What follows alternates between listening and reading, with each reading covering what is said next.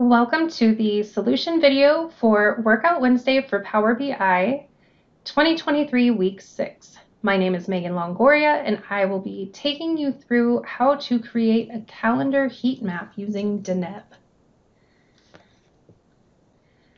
This week we are creating a heat map formatted as a calendar to show the differences in high temperatures across four different cities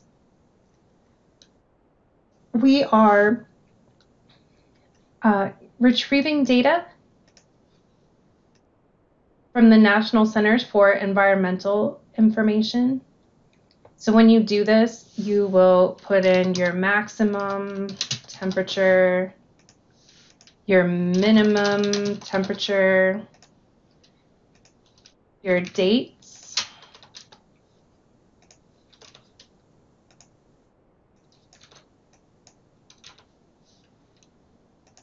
And then you'll search for the four stations that I provided in the instructions.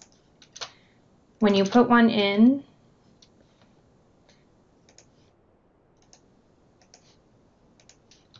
when you put one in, it'll search for it and then you can add it to your list. So you add all four to your list and once you have those four, I'm not going to do all four, you'll be able to essentially place an order and you'll want to make sure that you have configured your files so that they are downloaded as a CSV and they're downloaded as a single CSV together. If not, you can always append the four files to create one inside of Power Query. It will email you a link to download your data. You don't just download it from here it gets added to your cart. I already have my file. Uh, I didn't want you to watch this video and wait on it, so I have my file already downloaded. But it took me the few times I did it, it took a minute to three minutes before the email showed up. So it wasn't a very long wait. So you, you should be able to get started soon after placing your data order.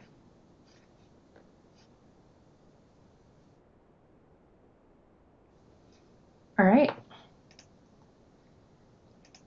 I'm going to import my CSV.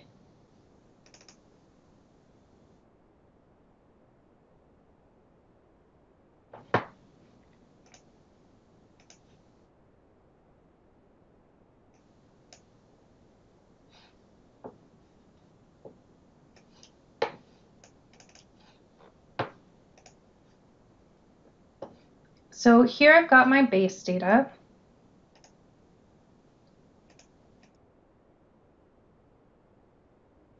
I'm just moving that to a separate group for organization purposes. And then I'm going to reference that. And I'm going to make a location dimension. So I will choose station name,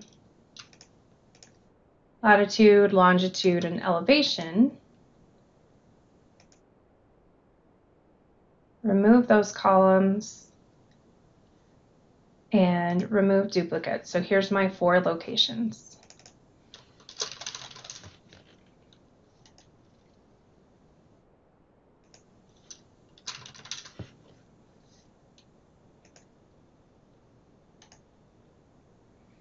And then I'll reference again so I can get my fact. I'm going to take off those columns that I used. So now I just have date, tmax, tmin, and then these two attribute columns can go.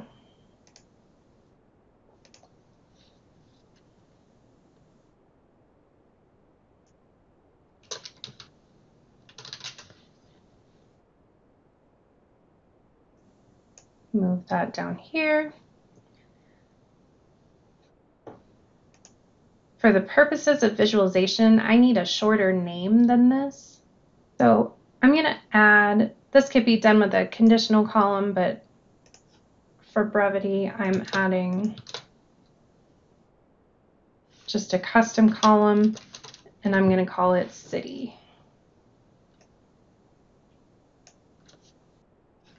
And then I wanted to order my columns in a specific way. basically by latitude descending. So I went ahead and made another column to take care of that.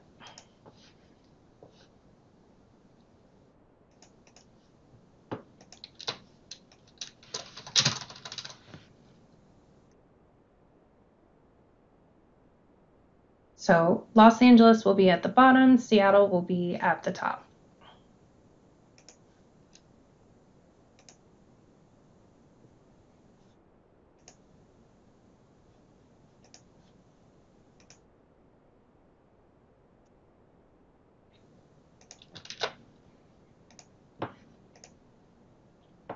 I also added a date table, which I just have a query that I paste into any project. So I can have my date table.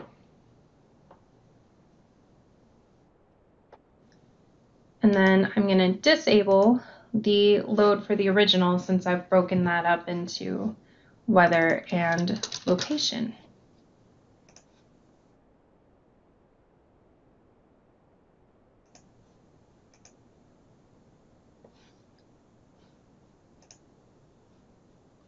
Data types look pretty good.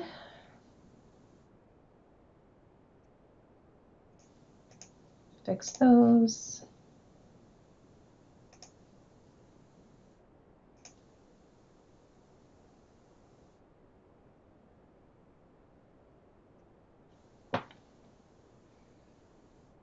And I'm going to go ahead and change my theme here because I know I want a background color.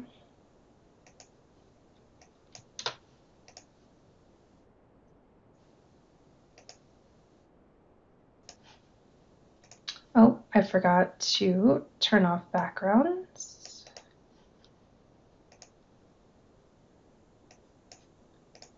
There we go. And at the top of my report, I just have a note for more information. Oops. And another text box for title.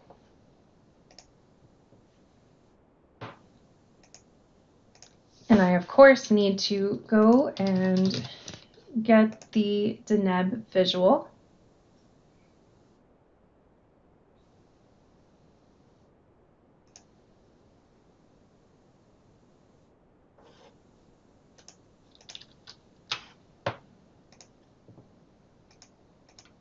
I can add that to my page.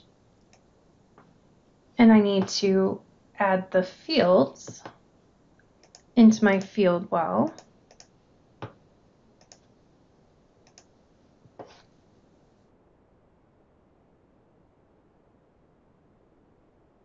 So I'm going to do city and city order and date and day name and year and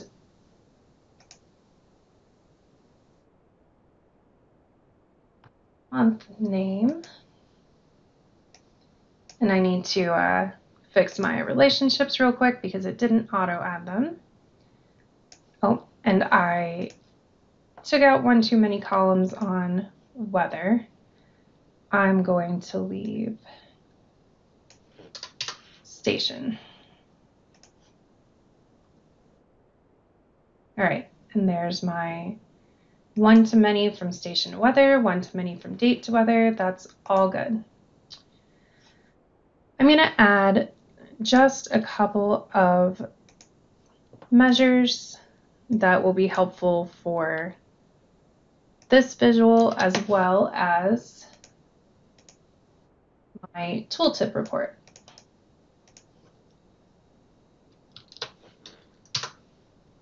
Oops. Let's try that again. Not a lot of DAX involved in this one. I'm just getting the max of the Tmax column, the min of the Tmin column,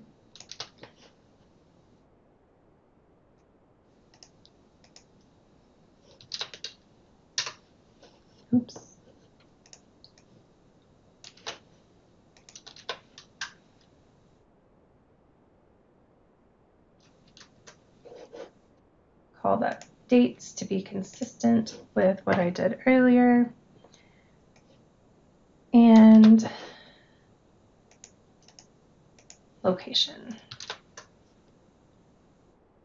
All right.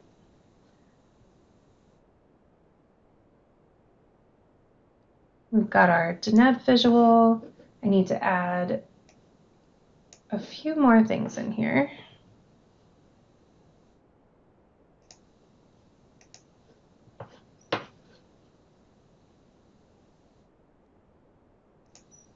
Make sure year is not summarized. I've got max temp. And we should be good. Now that I've populated my data, I can edit. I'm going to start empty because I'm going to paste my JSON in, and then we'll go over it.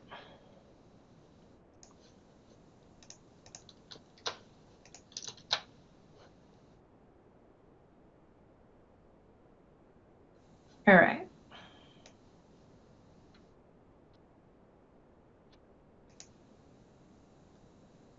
Here, we're just defining the width and height. Anytime we're using Deneb in Power BI, uh, the data will say name dataset. I did one transform in this Deneb visual, and it's to help determine the week number so that the boxes show up on the white, right week. So in this case, January started on a Saturday and it ended on a Monday. So this is week 0, 1, 2, 3, 4, and 5. This is the continuation of week 5. And week 9 is where it ends. March starts on week 9. So that helps us get our columns all sorted out. So if the day equals 0, which I think is Monday. Um, week minus one. Otherwise, get the week number. Must have been Sunday. So to do this, we actually use bars for the mark. I set my corner radius to one because I didn't want them to be hard squares. People probably won't notice. You can choose your corner radius. ARIA and description are about accessibility for screen readers. So I wanted to provide that description in there. And then we get to our encoding. So first we have our month name, January, February, across the top. We didn't need a title up there. I didn't need a um, text box label to say month name seemed pretty obvious. I changed my header size a little bit to make it 18, added some padding, kept everything in Segoe. I don't like to use black or white. I tend to do dark gray, kind of off black, off white, uh, because the other are the pure black and pure white are harsh colors for data viz and graphic purposes. Then we did have to facet this, but we don't actually use the word facet. So that was our column, and this is our row. Our rows are by city. And then here's how I got Seattle to Los Angeles. So the the traditionally hotter or more south thing is actually on top and Seattle is on the bottom. So we are sorting by city order. And then the label font size is 20 over here. And our X is week number, which we have the um, transform for. We called it week number up here. We didn't need a title for that one either. And then our Y is day name. That's our Monday, Tuesday, Wednesday going down over here. And so I could have sorted this in the data, but I went ahead and just sorted it manually right here in Deneb. It also didn't need a title in my opinion. Used my label padding, set my color consistent with the others. And then we define our colors. I'm going to open this link so you can see.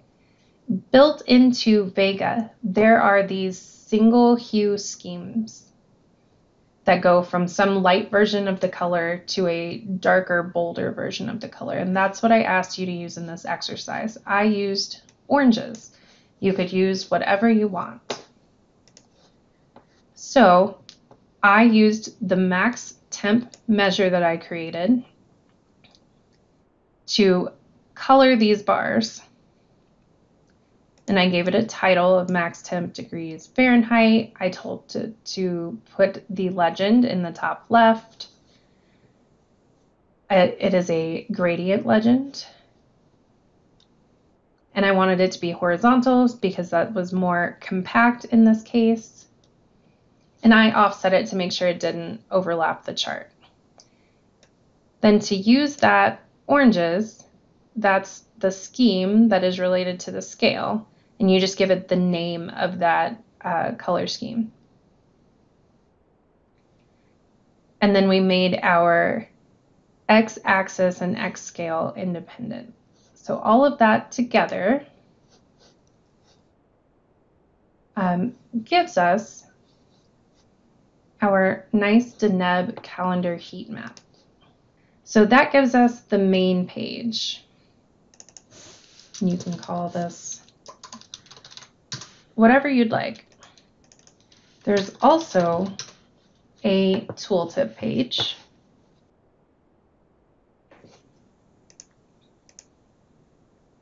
So I'm going to allow it to be used as a tooltip. I want to change my size just a little bit. I'm going to do 120 by 250.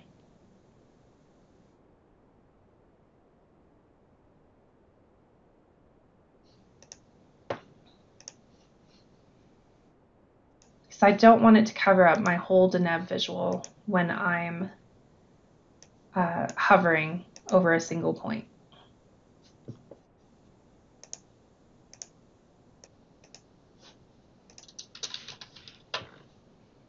I'm going to make my font just slightly bigger. I'll zoom in for this purpose.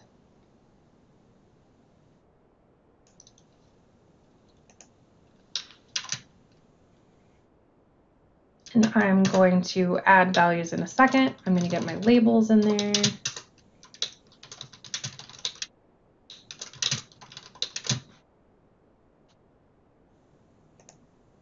And then I made those measures earlier. There it goes.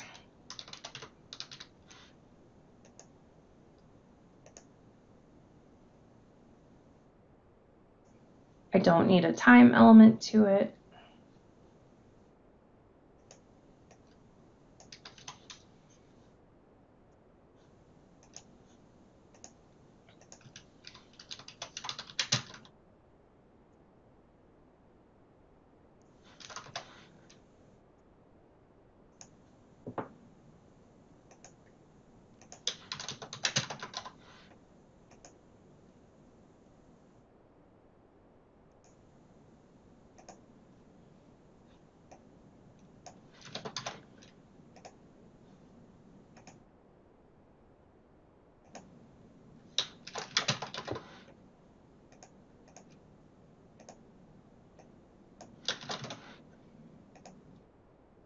So that gives me my tooltip report. Now I need to set my tooltip.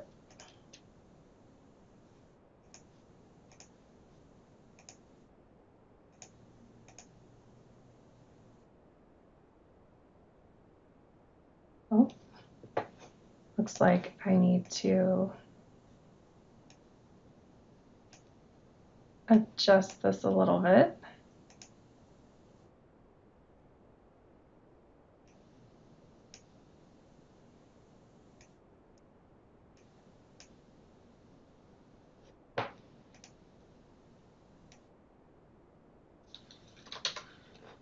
There we go.